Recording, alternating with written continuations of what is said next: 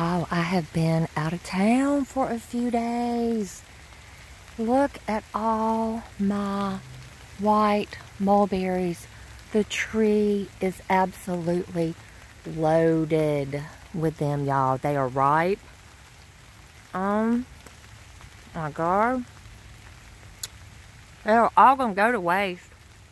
Mm, I need to have a picking party. I need to have a picking party. Mmm. Mmm. White mulberries. Um, the leaves can be used to make a tea, and it's medicinal for um, people suffering with diabetes. I don't know all the details, but mmm.